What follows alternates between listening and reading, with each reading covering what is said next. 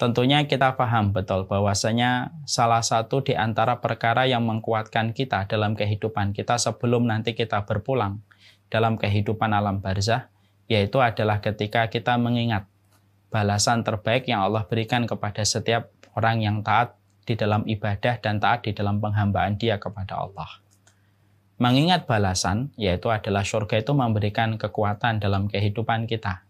Dan itulah yang akan menjadikan kita kuat untuk menampik setiap godaan dan iming-iming yang haram ketika kita ingat bahwasanya setiap komitmen kita menahan diri dari perkara yang diharamkan oleh Allah mampu berbuah manis dengan rahmatnya Allah yaitu adalah surga.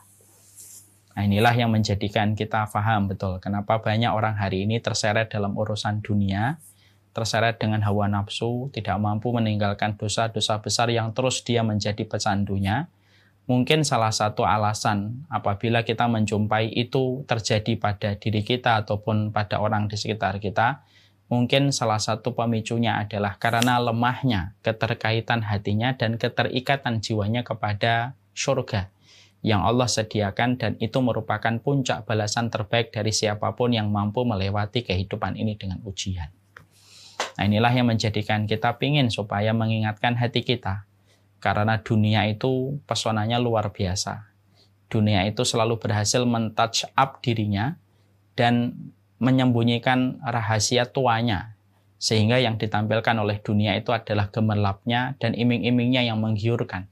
Yang menjadikan banyak orang terkadang terperosok kepada dunia dan melupakan tentang tempat tinggalnya yang sudah disediakan oleh Allah kalau dia taat yaitu adalah surga. Dan itulah yang menjadikan kita berupaya betul kita jangan sampai kualitas kehidupan kita selaku manusia jauh lebih buruk daripada kualitas keledai.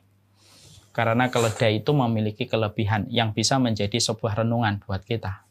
Imam Ibnu Qayyim al-Jauziyah berkata, sesungguhnya keledai itu banyak sifat negatif yang disematkan kepada keledai. Makanya suara yang paling buruk suaranya keledai.